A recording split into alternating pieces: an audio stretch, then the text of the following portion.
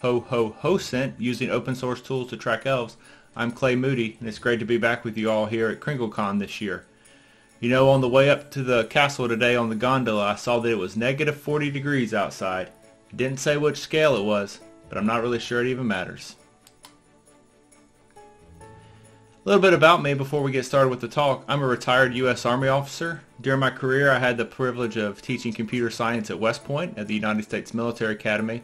At that time, I got to coach the competitive cyber team, which competed in a lot of uh, capture the flag uh, competitions, sort of like Holiday Hack Challenge. I was assigned as a researcher with the Army Cyber Institute, where I studied advanced education uh, for technically talented service members, and I was the lead of the Tatooine office of the Defense Digital Service. It was quite an honor to serve and I'm glad to be here with you today. I've got a long-running history with Holiday Hack Challenge and KringleCon. I've been a challenge developer, what helped design websites in the past. I've play tested some of the challenges and last year I served as a uh, concierge.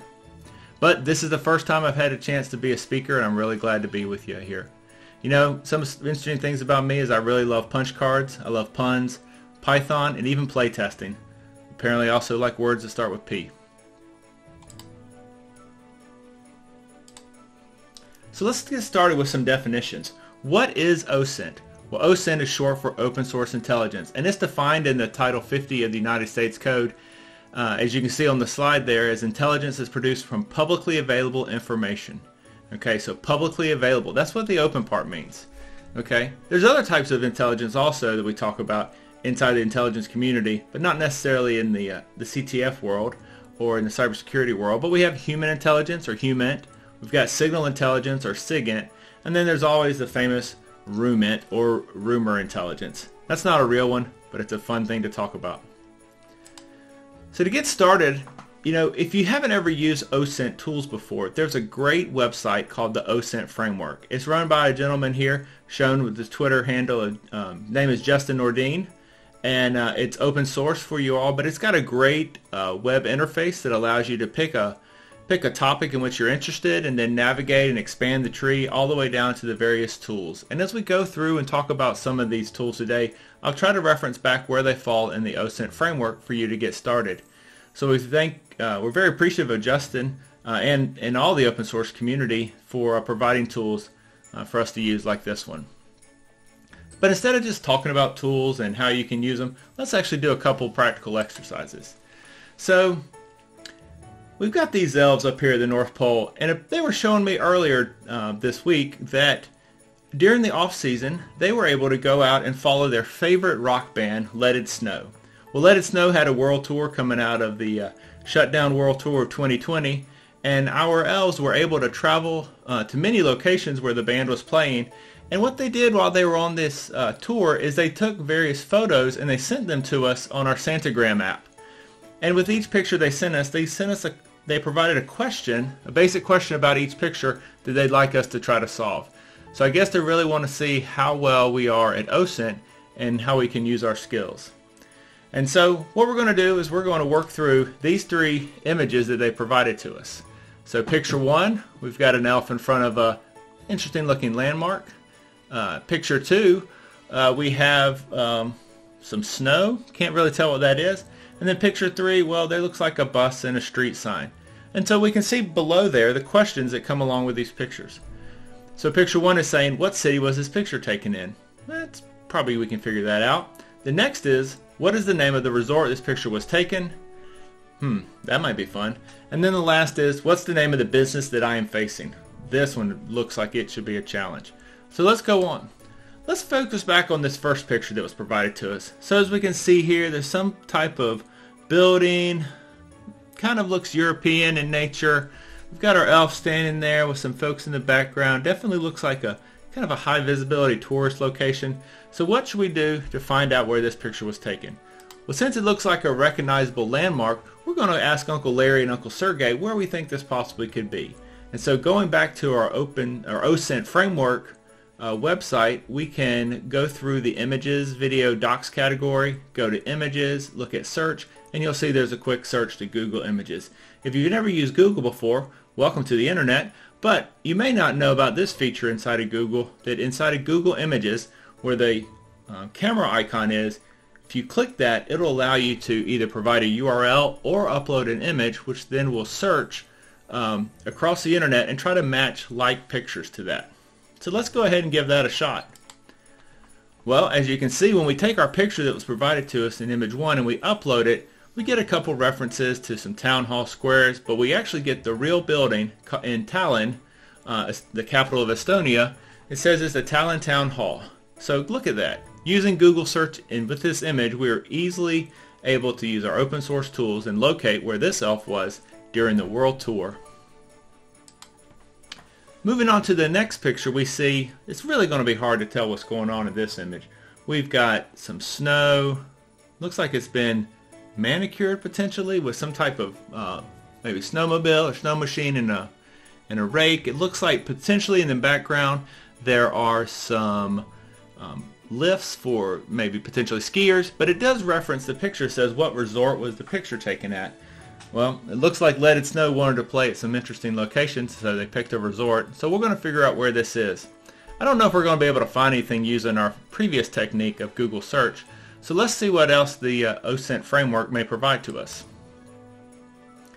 Well, here we've got a tool inside of image, videos, and docs under images and metadata called the EXIF tool. If you have, if you're not familiar with metadata, that made the little headlines a few years back.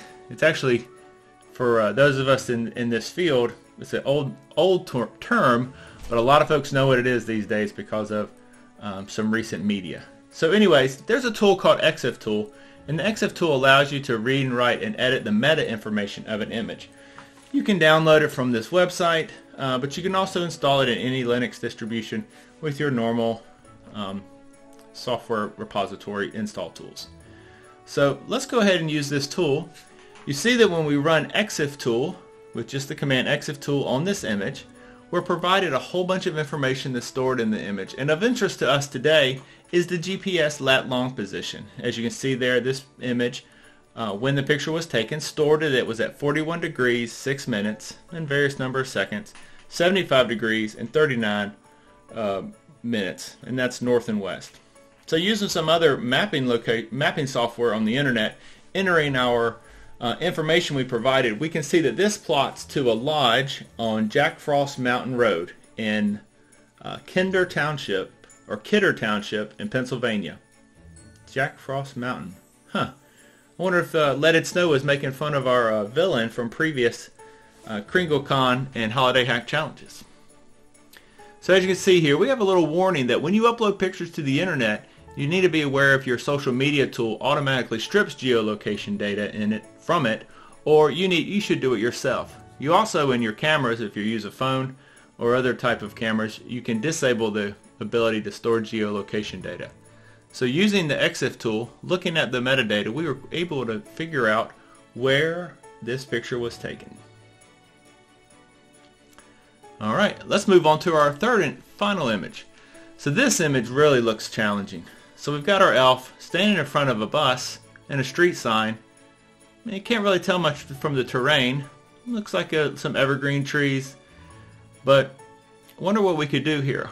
Well, if you'll notice, if we kind of pay attention, we've got a bus with a seven-digit number. That's interesting. But we've got a URL.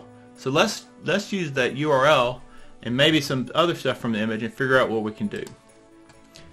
So if we go to this URL, it'll automatically redirect to this site, and it apparently FNSB is talking about the Fairbanks North Star Borough. Well, actually, when you go to the slash max uh, URL, it's going to take us to the metropolitan area commuter system. And you can see the buses. Well, we know we got a bus, and so looking at the bus route, which is provided on this website, we're not really able to tell exactly where this is, but we do see the mention of Fifth Avenue. Well, in the Fairbanks main area, there's not much you can see on the on the map about any stops near Fifth Avenue, but the North Pole area, which is adjacent to Fairbanks, Alaska, there's a mention of 8th Avenue. So I think we should probably start looking in the North Pole area for our elf. So Google, Spending some time looking at the map and doing Google Street View, we can see that the Richardson Highway, there is that street sign that we just saw of the 5th Avenue. 5th Avenue next right. If we look, this is where our elf is standing, looking over here at this building, and when we kind of pan over in Google Earth, or Google Street View rather, we see that this is the Santa Claus house. And Santa Claus house is a Santa Claus themed house and gift shop. But this definitely makes sense as a place that Let It Snow would want to perform. So as you can see, we're able to use landmarks and street signs to find uh, places. Yeah, not people. We're not stalking people. We're stalking elves. Okay. So as you can see, in summary, open source tools are very useful to find things on the web, on the web or on the internet in addition to image searches. But finding elves is always a challenge as they are always out there handing out bits to everyone. Now, only if Let Snow had posted their tour dates online, this might have been a little bit easier. Well, I appreciate you coming to my KringleCon 4 talk. Just remember, open source tools are good, but there are some ways that you can protect yourself, as we've talked about. Thanks a lot. Hope to see you around the con. If you see me, I'm Mad Eye. Be great to talk to you. Take care.